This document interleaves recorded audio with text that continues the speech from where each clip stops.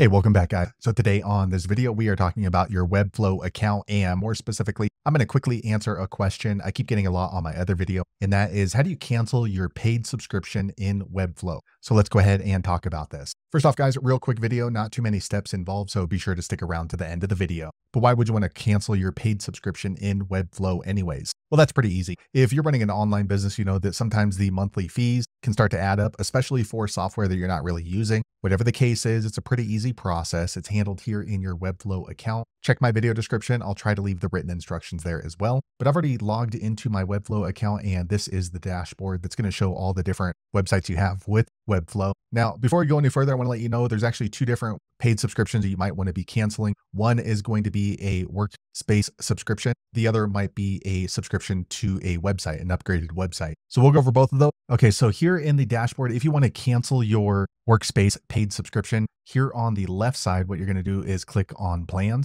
Okay, once you do that, you're going to see which plan you are on. As you can see, I'm here on the core plan at $28 per month. So in order to cancel this, you want to go ahead and look to the left. They have a starter plan at zero. So we're not going to actually be canceling. We're going to be downgrading to the free plan. So I'm going to click downgrade to starter. Okay, once you do that, you're going to get this warning from Webflow. If you're going to be downgrading your paid subscription on Webflow, they don't really give refunds. So basically what's going to happen is I'll still have access until November 7th. So 30 days from now. So that's how much I've paid up for. And next they ask why you want to cancel. So I'm going to go ahead and just click this. All right. And then in order to cancel your paid workspace subscription, go ahead and type in downgrade. All right. And then click on downgrade workspace plan. Okay. Next, the page refreshes and it went by pretty quick, but basically it gave me a confirmation saying that the workspace paid subscription has been canceled. Now we need to go back to our dashboard here on the top. So click on all sites. Okay. So now if you want to cancel the paid subscription to a particular website that you're building, you're going to go ahead and look for the website. So this one right here, and then you're going to click on the gear icon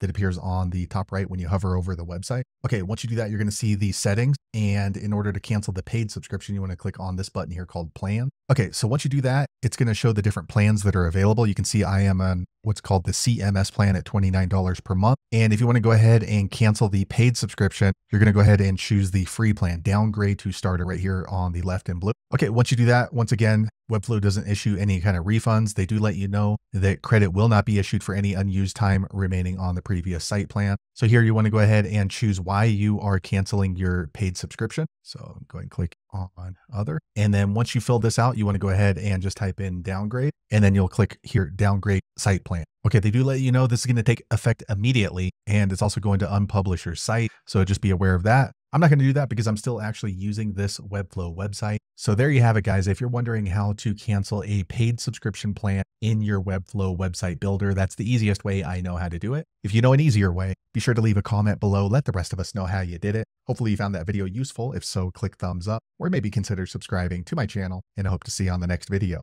Thanks again for watching.